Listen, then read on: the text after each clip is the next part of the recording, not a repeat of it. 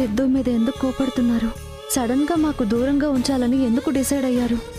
అంటే మేమిక్కడ ఉండటం నందు గారికి ఇష్టం లేదా? పెళ్ళి పుస్తకం మధ్యాహ్నం ఒంటి గంట ముప్పై నిమిషాలకు మీ ఈటీవీలో.